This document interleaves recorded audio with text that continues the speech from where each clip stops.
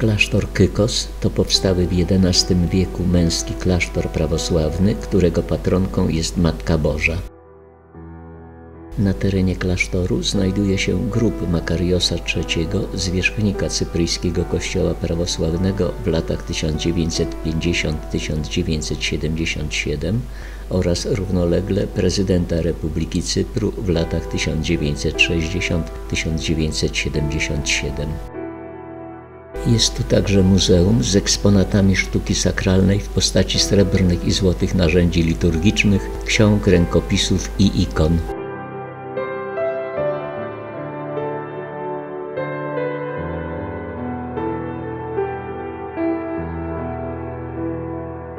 Klasztor Kykos należy do największych i najbogatszych prawosławnych klasztorów na Cyprze.